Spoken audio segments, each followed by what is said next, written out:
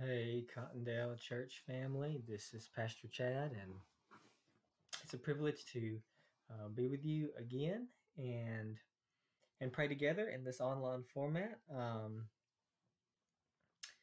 um, we'll have to uh, still got to work through the details on on gathering in our smaller groups, and um, hopefully we can get that going here pretty soon.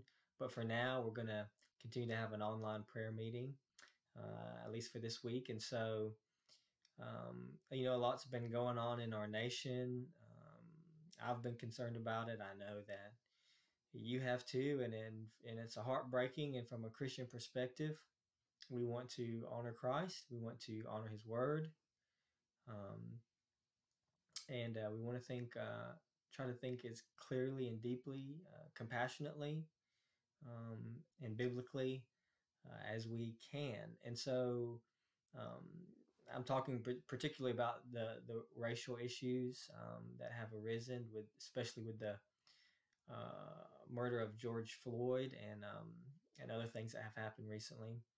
And uh, I came across a couple articles recently that I thought I thought were helpful. I thought were were good, um, and I wanted to share them with you. Sometimes we don't might not take time to sit down and and read through them on our own, but maybe together you'd be willing to sit down with me and just and read through this these articles with me, and I, I might stop and make some comment. But the biggest thing I want to do is is pray um, over them, and so hopefully we'll have time for both, but we'll just see how it goes. Uh, the first one uh, is an article that I saw written by a, a Christian hip hop artist, African American brother. His name is Shai Linne. And uh, after the uh, the murder of George Floyd, um, you know, uh, I think uh, he explains that somebody asked him, and he wasn't sure how to respond, and but eventually he responded. And the the reason I, I thought this article was so helpful was because it helps it helps us, you know. As Christians, we know that the the murder of George Floyd was inexcusable, and we also know that rioting and looting and and violence associated with that destruction of property is inexcusable as well. Um, but it is important for us to acknowledge uh, those of us who are part of the majority culture. It is important for us to acknowledge that the that it, the black experience is different than the white experience. The the the experience of, of what it's like to live in America is is is different, and sometimes we don't think about that because we, we, we don't have to. And so while the differences of experience do not excuse sin, it is it does aid in our understanding, and that's kind of that's what we want to be able to do, right? We want to be able to understand what's going on, and because we can't be we can't even begin to to work towards a solution if we don't even understand the problem and uh, and and the, the feelings and the experience that are being felt by a large part of the um, of American society and and and and and also we need to reflect on these things from a biblical perspective. And so what I want to do is I just want to read through this article together. I'm going to pull it up on my screen and um, and uh, hopefully it'll be big enough uh, as I'm recording it on your screen as well so that you can um, follow along with me. So I'm going to go ahead and pull that up and um, come over here. So let me make sure that that's big enough that you can see that. Okay, I think it's okay. Um, that's my little program there that I'm using. Okay, so here we go. It says, as a Christian hip hop artist, I've had the privilege of proclaiming Christ in my music for many years now. One of the encouraging and surprising aspects of that journey has been seeing how the Lord has used music to make connections across ethnic lines. Before the recent pandemic, a Christian hip hop concert was often a beautiful picture of the diversity of the new earth, with people from many walks of life united around the message of Christ and Him crucified. On many occasions, I've marveled at the reality of me, a black man from Philly, who grew up steeped in hip hop culture, united with brothers and sisters of different ethnicities, ages, and cultures as we fixed our eyes on Jesus together. Over the years, I've heard from many people that they were affected by the truth contained in my music, even though hip hop wasn't their natural cultural preference. Whenever I heard this, I was struck by the power and beauty of like mindedness. It was clear to me that we were like minded concerning particular emphases in the music the glory of God, the supremacy of Christ, the centrality of the cross, and the importance of biblical theology. By God's grace, I will fight for all of those things until the Lord takes me home. But one of the painful things I've discovered over the last eight years or so since Trayvon Martin's killing is that it's possible to agree on those things and yet be in a completely different place when it comes to the issue of racial injustice. Just because I've made an intentional decision to focus on that which is of first importance doesn't mean there aren't other important things that need to be addressed in the church. It also doesn't mean that being a Christian has exempted me from the reality of being a black man in America and all the stigma that comes with it. In the aftermath of George Floyd's killing, my wife and I received an email from a white sister in Christ. I was hesitant to let her know how I was feeling for fear of being misunderstood and, frankly, because of emotional exhaustion. But as I began to write, I poured out my heart in a way I've never really articulated all at once. I've been encouraged by some around me to share this publicly. In doing so, I understand that I don't speak for all black people on this issue, though many can resonate with my experience. I also recognize the risk that comes with putting yourself out there and being vulnerable in the age of social media, online trolls, and keyboard vigilantes. But if this can help promote any empathy, understanding, and unity, in the body of Christ is more than worth it. Here is what I shared with her. Sister, I'm going to tell you how I'm doing. And as I tell you, please understand that I'm incapable of completing this message without weeping. There's a part of me that's saying, spare yourself the pain, Shai. It's not worth it. But I'm choosing not to listen to that part of me because I would be robbing you of an opportunity to bear one another's burdens and mourn with those who mourn. And I'm sure as a sister in Christ, you want to do just that. Sister, I am heartbroken and devastated. I feel gutted. I haven't been able to focus on much at all since I saw the horrific video of George Floyd's murder. The image of that officer with hand in his pocket as he calmly and callously squeezed the life out of that man while he begged for his life is an image that will haunt me until the day I die. But it's not just the video of this one incident.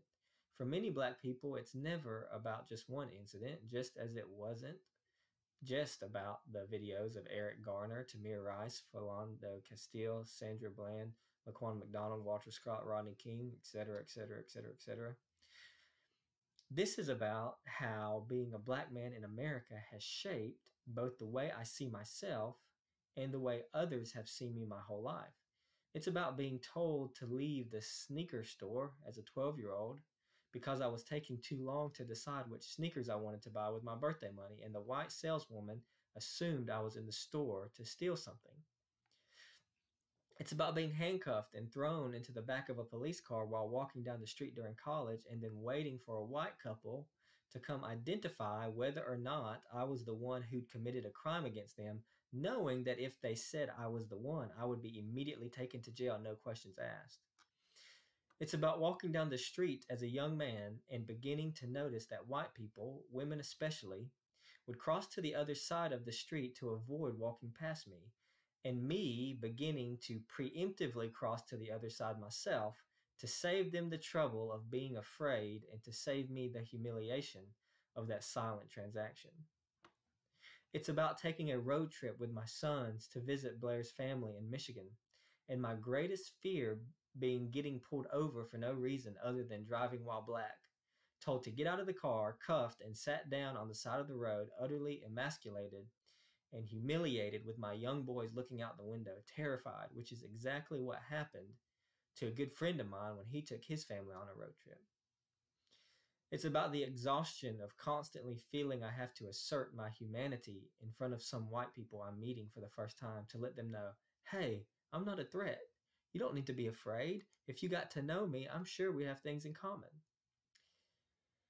It's about me sometimes asking my wife to do things in certain customer service situations since I know she'll likely get treated better than I will. It's about borrowing a baby swing from a white friend in our mostly white suburb of DC and her telling me, Sure, you can borrow it. I have to step out, but I'll leave it on the porch for you. Just go grab it. And then, feeling heart palpitations as my car approached her home, debating whether or not to get the swing and being terrified as I walked up the steps that someone would think I was stealing it and call the cops on me. It's about intentionally making sure the car seats are in the car, even if the kids aren't, so that when, not if, it happens all the time, I'm stopped by the police, they will perhaps notice the car seats and also the wedding band on one of my visible hands on the wheel, which I've been taught to keep there and not move until he tells me to. And even then, in an exaggeratedly slow manner, and will perhaps think to himself, this man is married with a family and small kids like me. Maybe he wants to get home safely to his family just like I do. It's about having to explain to my four year old son at his mostly white Christian school that the kids who laughed at him for having brown skin were wrong, that God made him in his image and that his skin is beautiful after he told me, Daddy, I don't want brown skin, I want white skin.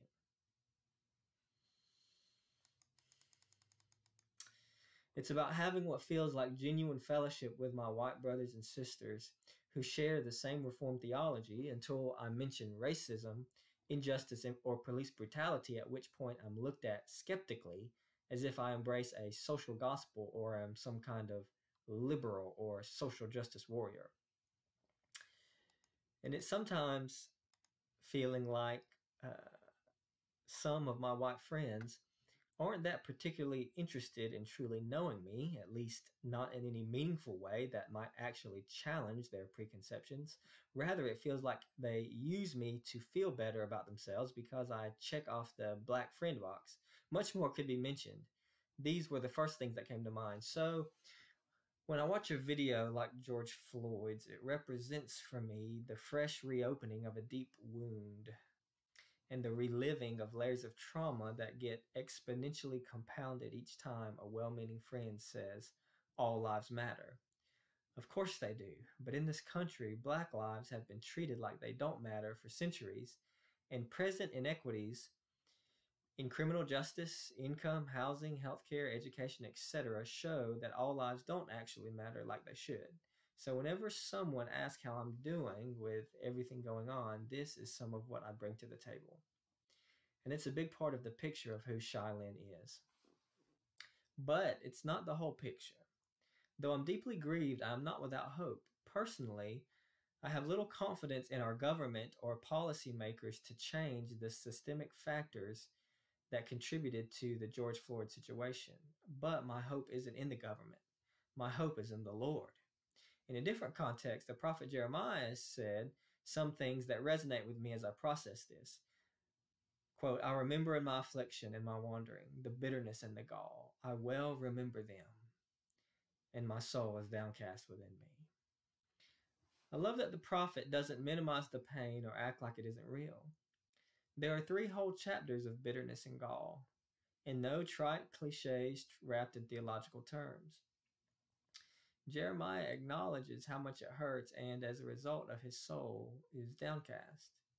Too often, when people are hurting, we can play the role of Job's friends, saying things that may be theologically true while adding to our suffering friend's pain.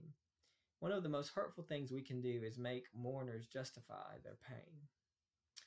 Jeremiah gives thoughtful meditation to the trauma he has experienced at the hand of the Lord, but then he does something remarkable in the next verse he preaches to himself. Yet this I call to mind, and therefore I have hope. Because of the Lord's great love, we are not consumed, for his compassions never fail. They are new every morning. Great is your faithfulness. I say to myself, The Lord is my portion. Therefore, I will wait for him. Jeremiah makes a conscious decision to think about something that fuels his hope God's character. He considers God's great love, God's compassion, and God's faithfulness. He reminds himself that the Lord is his portion. Jeremiah knows he and Israel deserve to be consumed because of their sin, but he also knows that the God who disciplines is the God who saves. So, brothers and sisters, in a nutshell, I'm so thankful for Jesus. I deserve to be consumed, but I'm not because of God's compassion. That's what the cross and resurrection are all about. My pain and trauma are real, but my salvation, in a sense, is even more real. Because my pain and trauma are temporary, my salvation is eternal. This is why I choose to focus on what I do in my music. It's the glory of God, the supremacy of Jesus Christ, the centrality of the cross, and biblical theology that put my experience as a black man in America into its proper perspective. I'm not giving into skepticism or pessimism, but I firmly believe that unless the systemic problems with policing and the criminal justice system are addressed, we're going to continue to see these kinds of things for years to come. My fear is that the attention garnered by the protests will eventually die down, as it always does, and then my white friends will go right back to life as usual. But I don't have that luxury. For me, life as usual means recognizing some people perceive me as a threat based solely on the color of my skin. For me, life as usual means preparing my sons for the coming time when they're no longer perceived as cute little boys, but teenage thugs. Long after George Floyd disappears from the headlines, I will still be a black man in America. And you know what? I thank God for that. He knew exactly what he was doing when he made me the way he did. Despite the real and exhausting challenges that come with my outward packaging, I know that I'm fearfully and wonderfully made. I wouldn't want to be anything other than what I am a follower of Jesus Christ, who has been saved by grace and redeemed by the blood of the Lamb, who also has brown skin and dreadlocks and does hip hop. And God has chosen in his great mercy to leverage it all for his glory. Praise be to him.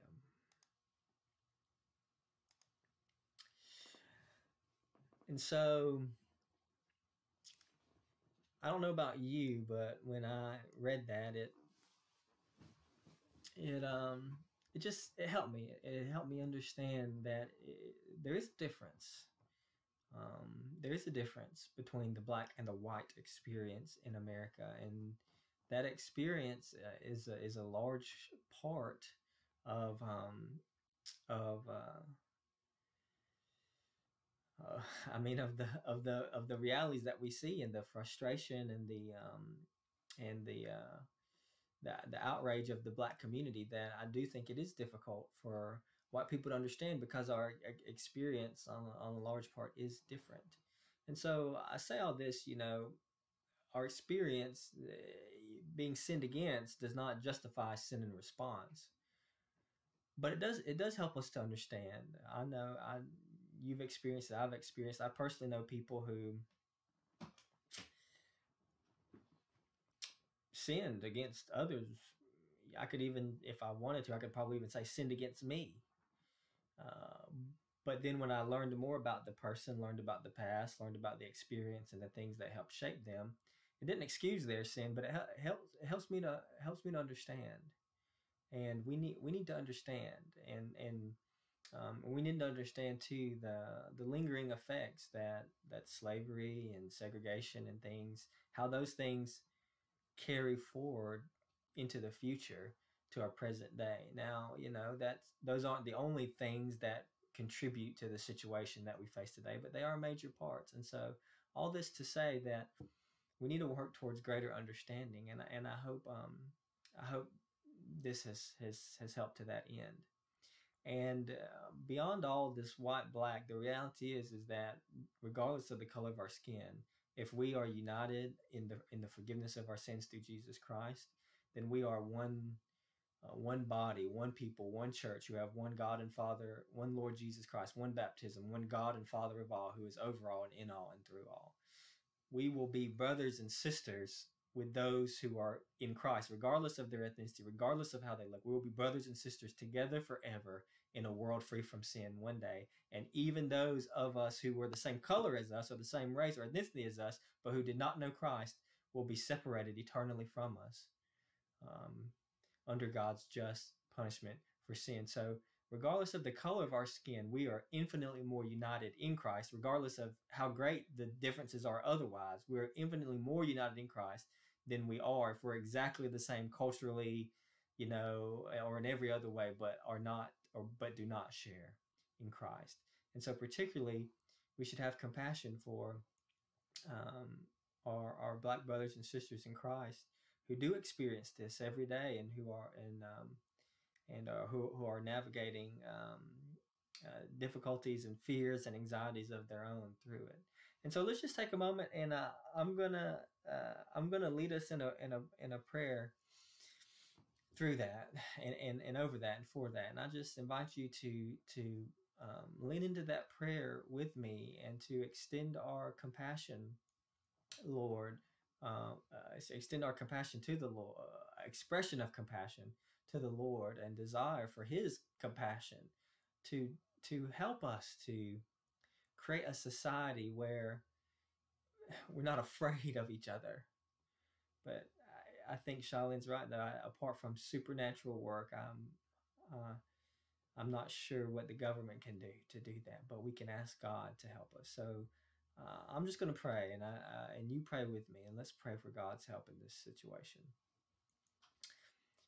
Father, uh, Lord, we need you, God. We we need you. Our heart breaks, Lord, when we consider, Lord, a brother in Christ who uh, is, for many reasons, uh, afraid, Lord, to go out, knowing that he will be perceived as a greater threat or, or have greater potential for threat or violence or criminality or whatever, Lord, just simply because of the color of his skin. And because of that, Lord, it, um, God, it, it was just it's heartbreaking, Lord, and it's hard. It, it really is hard to imagine, God. So I pray that you would help us, God, to imagine it. Help us, God, to have compassion. Help us, Lord, to create a. Help us, Lord, to be the church, to love one another. Help us, Lord, to work intentionally, God, in our hearts and in our minds, to treat people with dignity and respect, regardless of the color of their skin, and to not be overcome by fear.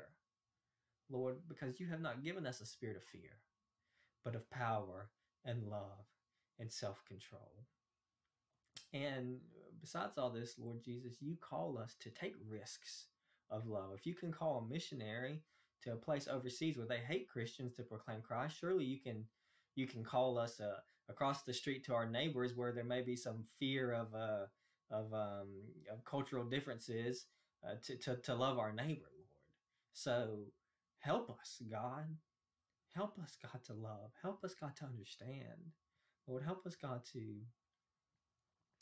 um, and and to and help us, Lord, insofar as we can, uh, that we don't have to experience these things. Help us to wield any influence that we have to help mitigate these things. But above all, Lord, we just we confess the difficulty of this situation, the brokenness of the human heart, the the reality, Lord, that sin begets sin, Lord, and and that um,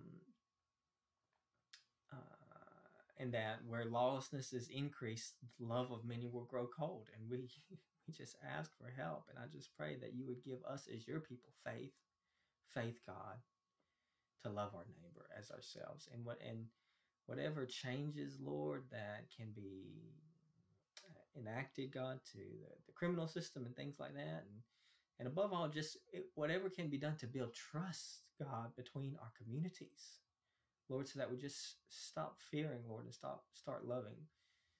I pray that you would open such doors and open such opportunities, Lord, and work it, God. Eh, above all, Lord, we know that how we treat one another is ultimately a a heart issue, Lord, that in our hearts can only be changed by the power of the gospel of Jesus Christ. So I pray that your gospel will speed forward. I pray that all of us would see how greatly we have sinned against you, Father, and yet how greatly you have extended your mercy and forgiveness and in and uh, and love to us in Jesus Christ. And I pray that that would melt our hearts, Lord. And as we consider how great sinners that we are, toward you, Lord. I pray that that would cause us, Lord, to be so much more merciful to um, to others, God, around us, and so much more willing to extend compassion and trust and faith, and to and to give the benefit of doubt, God, and to to to others, God, especially within your church, Lord, especially within your church, Lord. We are united, whether we realize it or not. We are united in you, Lord Jesus. We are one church, one faith, one Lord, have one Lord, one baptism, one God and Father of all. So, God, help us live that. Help us be it. Help the church to be the taste of heaven that we're supposed to be, Lord. Because if the church is divided, just like the world, what are we? We're not. What are we telling? We're telling them that Christ makes no difference, and that's blasphemy. So God, help us. God, help us, Lord, to love you. Help us, God, to love uh, one another. Um, it's in Christ's name we pray. Amen. Well, um, it seems like that's most of our time for this evening. So uh, maybe I'll read the other one, the other article, another time. It, it's it's it's it's helpful it, um, as well. But perhaps this is this is more than enough for us us to think about. Um, if you're interested, that article can be found at um, thegospelcoalition.org. And then that, the title of the article is called George Floyd and Me. It's written by Shai Linne. But um, but again, it's um, uh, my desire is that this will just this will help us. This will help us to understand, to help us to love, and to help us show compassion, and to help us recognize the complexity of um, of these things and and to look to Christ really who who's the only one who can who can solve this. Um, we know that that one day when Christ returns perfect justice will be meted out. And regardless of the color of our skin because God's the one who gave us the color of our skins God's no respecter of persons. Regardless of whatever we have faced each of us will be judged and receive what is due for what we have done in the body. And on that day, I won't be able to point over there or point over there and say, "Well, I was I didn't love because you know this happened and this happened and they did that and they did that." That that's not going to fly when I stand before Christ. I won't be able to point fingers. All I'll be able to do before Christ, all that He's going to ask me is, "What did I do to love my neighbor with the life that He gave me? What did I do to treasure Christ and to proclaim Him with the life that He gave me. And and I'll and there'll be no I'll, I'll have no excuses. I won't be able to point the finger at someone else. I'll have to give an account for what I did, how I responded, how I love my neighbor. And so I don't know about you, but when that day happens, I want to have clean hands and a pure heart before the Lord. And there's lots going on, and I personally have been just convicted that um, you know there's there's riots and protests and things like that. And um, but you know I, i'm sure people have different opinions but for me i feel like the most effective thing i can do is love my neighbor right here in dodge county. I, I could i could talk about it on social media. I could make social media posts. I could comment all day and express my outrage at this or that. But i feel like the thing that will actually make a difference is putting some skin in the game and actually loving the people that are right in front of me instead of just talking about it. And so that's that's that's I feel like the Lord's challenge for me and maybe the Lord's challenge for you too. God help me love my neighbor right here. Help me show compassion right here. Help me meet needs right here. Help me show that um, uh, help me show that I love that uh, I love my neighbor even those you know uh, of a different race or ethnicity than me. Help me show that right here right now today. And so may god help us do that church and, and just continue to pray lord that we need we need god's help and he's the only solution. Let's keep the mind of christ church. The world it's very tempting because the world is viewing this from a worldly perspective that doesn't have god in the equation and it's tempting that the more media we consume, we're starting to view things from the world's perspective and not God's. Believe me, the the perspective being looked eh, at, the approaching things is not God's perspective. We're the church. We belong to Jesus Christ. America is not going to last. Frankly, it's on its way down, but the kingdom of Christ will remain forever. We want to look at these things through God's eyes. And so that that's that's that's another challenge let's fill our mind with God's word at least and, and with prayer at least as much as we fill it with anything else on a screen. And I believe in, as we do that, God will give us the mind of Christ and he'll help us to see clearly in these uh, these very confusing days. So um, I, ho- I hope this has been helpful uh, to some degree. And um, and there's a lot more that could be said, but this is at, at least one thing that need to be uh, that needs to be said. And um, and and may God help us, church. Um, I love you. Uh, if there's anything you need, please let us know. Um, if you know of anyone uh, that is uh, that's in need of prayer, um, we um, you could always post that in our Facebook group. That's kind of what that's there for. Uh, of course, you could always let us know at church, and we'll we'll um, we'll get them on the prayer list. Uh, we are meeting in person again. Uh, we're meeting, you know, you can only sit every other pew if you're at risk. We highly recommend masks. If you're at risk, you know, we, we definitely recommend you wear one. We're continuing to live stream, of course. So if you don't feel comfortable coming yet, you can still live stream our service. Um, our service is at 9:30 a.m. on Sundays. Uh, we kind of just kept that time from the drive-ins, and uh, I personally like it. But um, when we're able to gather together, we can, um, you know, we just we'll, we'll, just have to decide at some point in the future what things will look like going forward. But we're just keeping the 9:30 time for now. And so, Lord willing, I'll see you 9:30 on Sunday morning, or here or, or online. If there's any way that um, we can pray for you, uh, please let us know. If there's anything you need, please let us know. I love you, church. Hope you have a great week. God bless you.